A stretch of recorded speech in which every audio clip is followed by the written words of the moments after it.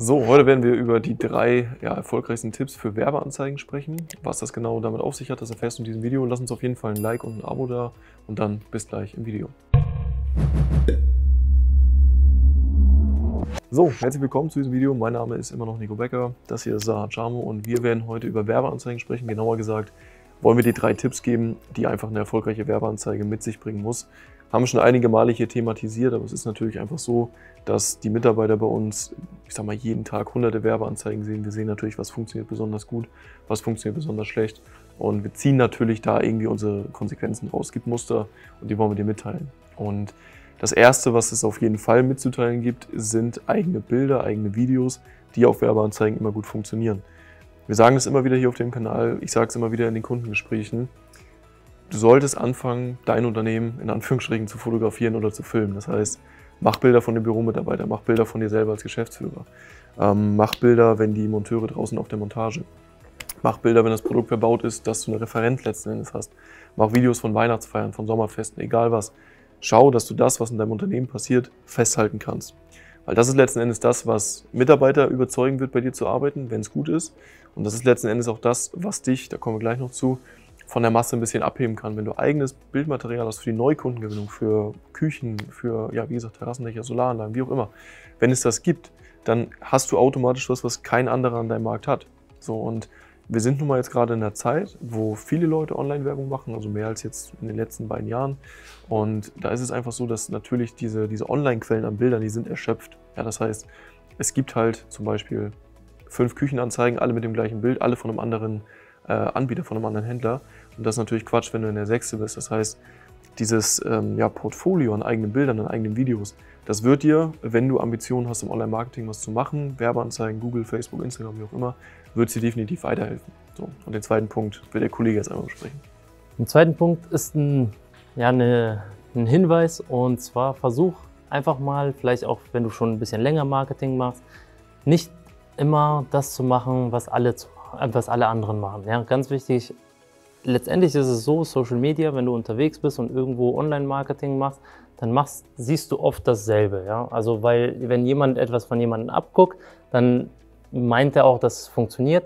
Kann auch immer wieder funktionieren, aber wenn mein, dein Marketing mal ein bisschen stoppt, dann versuch einfach mal was komplett Neues zu machen. Das heißt, meistens oder statistisch gesehen fallen Dinge auch auf, die halt anders sind als der Rest. Und sei da auch manchmal vielleicht nicht in deiner kompletten Kampagne, aber manchmal auch mutig, mal neue Dinge zu probieren.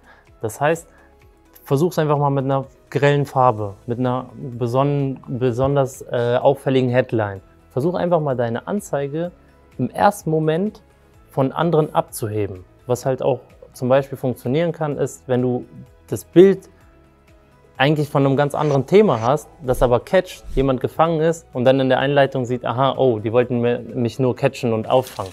Ja, ganz einfach neue Sachen probieren, also regelmäßig in einzelnen Anzeigen neue Dinge probieren und auch mal was ganz anderes. Weil so kannst du letztendlich deine Learnings auch machen, kannst sehen, was funktioniert besser. Also trau dich und probier mal was Neues.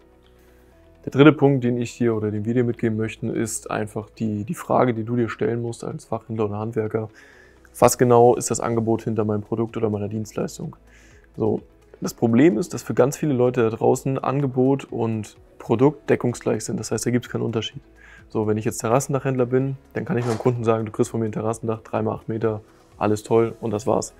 Das ist aber Marketing natürlich nicht so gut, weil Marketing ist natürlich letzten Endes kann man das so runterbrechen wahrscheinlich, irgendwo die Disziplin, diesen, diesen Unterschied zwischen Angebot und Produkt zu schaffen. Das heißt, für dich sollte die Frage lauten, was kann ich meinem Kunden noch geben, damit er bei mir Kunde wird? Also anders gesprochen, was hat er davon, bei mir Kunde zu werden für dieses eine Produkt?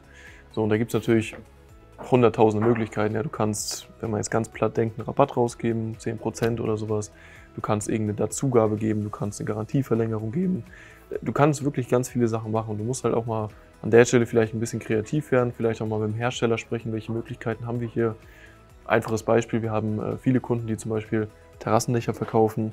So, und in der kalten Jahreszeit gibt es dann von mir aus so einen Wärmepilz dazu. Ist ganz einfach, ich weiß nicht, was sowas im Einkauf kostet, 100, 200 Euro.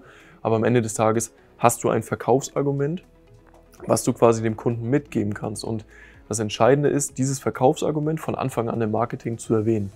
Das ist letzten Endes das, was, ja, was dabei einfach wichtig ist. Das sind so Erfolgsfaktoren, die wir immer wieder bei Kampagnen sehen. So, wenn man zweimal das gleiche Produkt bewirbt und einmal gibt es, wie gesagt, von mir aus drei Verkaufsargumente, die es jetzt noch zusätzlich gibt, also die ich bekomme, wenn ich da Kunde werde, dann schlägt das natürlich sofort ein. Genauso beim Thema Mitarbeitergewinnung, wenn man sowas wie einen Wechselbonus hat.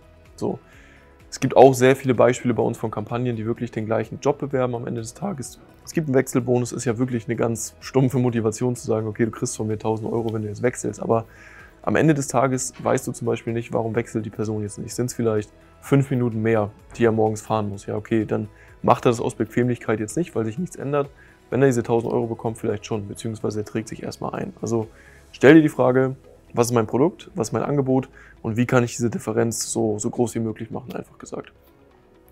So, das ist allgemein alles, was wir dir als Tipps geben möchten. Die wichtigsten Tipps auf jeden Fall für eine gut laufende Werbeanzeige. Wenn du da ein bisschen tiefer eintauchen möchtest, wenn du wissen möchtest, okay, wie soll jetzt so eine Werbeanzeige für mich genau aussehen, komm auf uns zu, komm auf unsere Homepage, buch dir da ein Erstgespräch. Wir beraten jeden Tag Dutzende Partner kostenfrei dabei, um genau diese Fragen zu klären. Ansonsten abonniere den Kanal, aktiviere die Glocke, dann verpasst du die Videos hier nicht mehr und dann bis zum nächsten Mal.